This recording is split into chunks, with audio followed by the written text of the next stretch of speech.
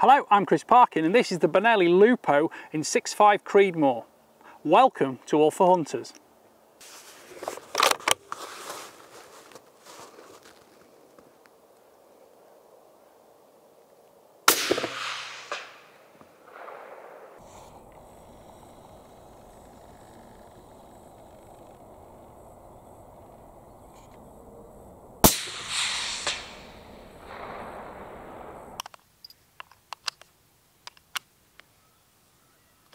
The Benelli Lupo Synthetic as well as 6.5 Creedmoor is also available in 243, 6mm Creedmoor, 270 Win, 308 Win, 3006 Springfield, 300 Win mag, 8x57, 7mm Rem mag, 6.5 PRC are also available.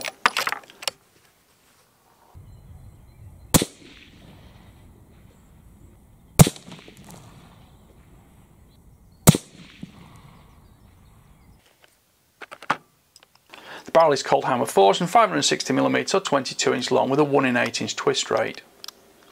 Overall length is 1122mm which is 44 inches. Overall weight is 3230 grams which is 7.3 pounds.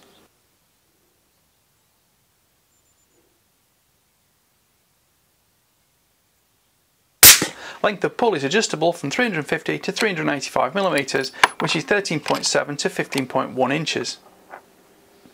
The single stage trigger is adjustable from 1000 to 2000 grams.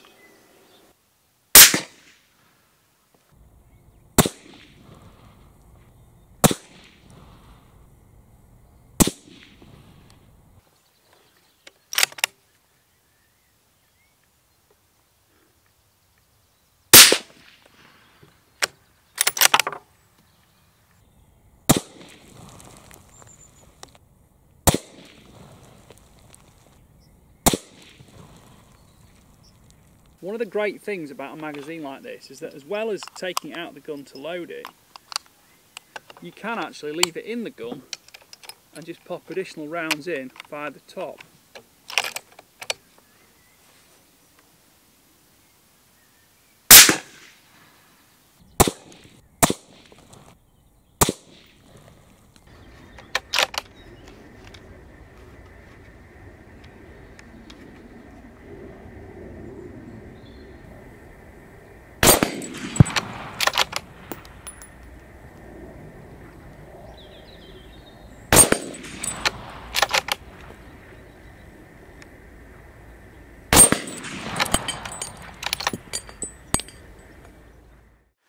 Well, you've seen the Benelli Lupo in use. I've got to say, I'm quite impressed with it. I think it's evident on paper, as we can see here. It's pretty accurate, pretty consistent, and I'm very happy to shoot it. And, uh, you know, I have no doubts in it at all. And, and it hasn't disappointed me with anything from 120, 140, 143 grains, or 120 grain copper. So that's great.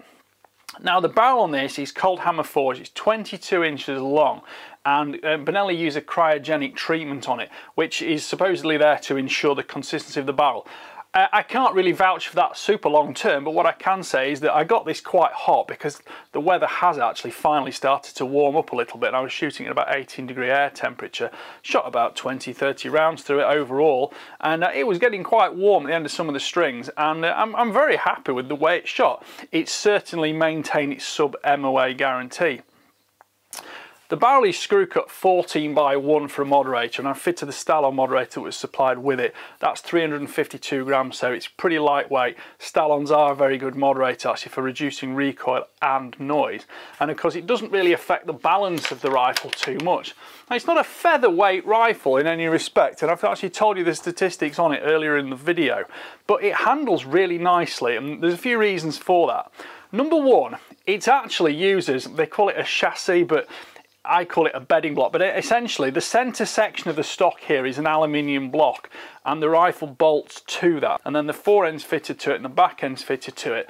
And as I showed you in the packet here, you get cast spacers here so you can change the cast on the stock. You also get length of pull spaces so you've got a good adjustment on the length of pull. And that is using this progressive comfort recoil pad which again on a 6.5 Creedmoor there's not a lot of ump to actually absorb but it's very comfortable. It grips into your shoulder and it's rounded so it fits in easily you know mounts up smoothly.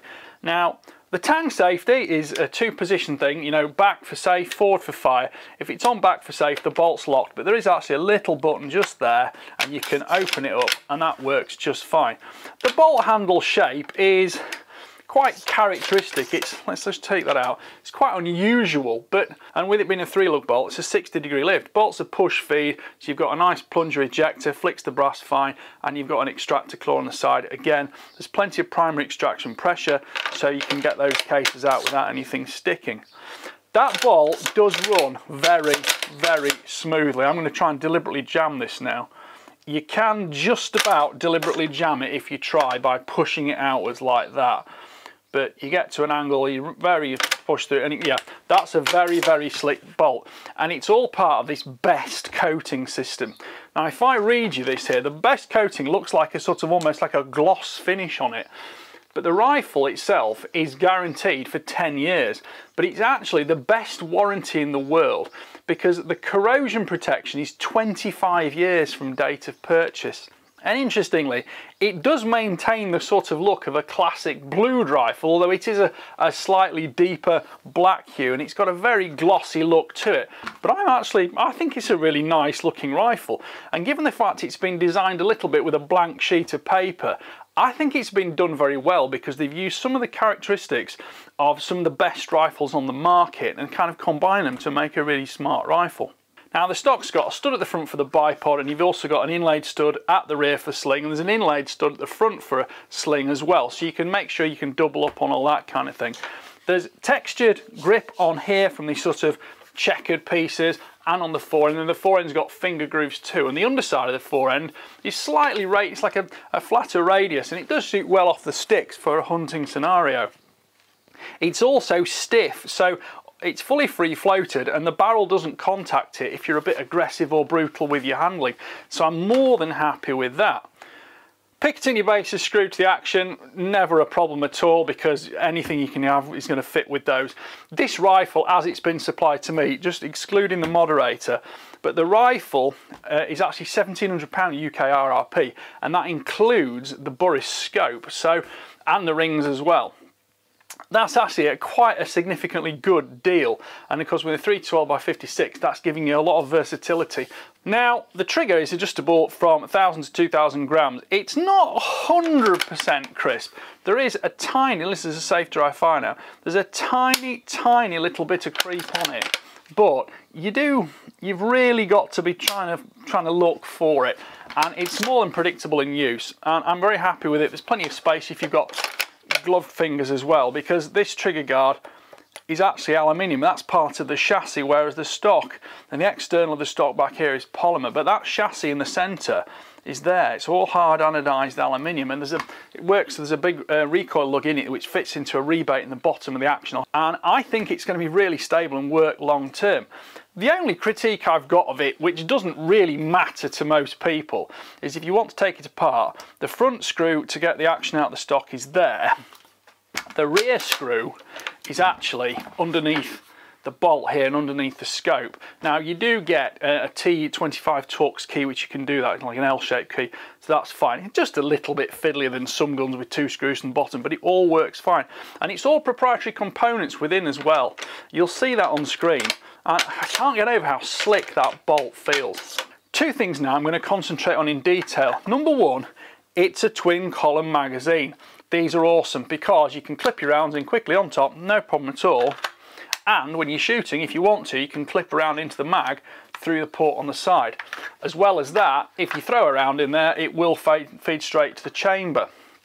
So I'm super happy with that and it's a totally, it's again, proprietary design. Seems to go in the rifle and fit in easily enough and it's a five round magazine. But because this bolt has been so beautifully sculpted and narrowed down in the center, you can actually have five plus one and it doesn't affect it. So if you put five in the mag, put one in the chamber, close the bolt, you can still put the mag in because some rifles don't always take the mag full if the bolt's closed. So that does mean you've got five plus one capacity. The fact you've got the recoil spacers means you can set it up as you want. The cast adjustment spaces I haven't used. That's a different factor you don't normally see on any rifle. Comes a little bit from the Benelli shotgun world, I suppose. But you can do that, you know, give it a little bit of movement on there, a little bit of space on it as well. And it also helps you, you can use it to space away from the trigger if you want to as well.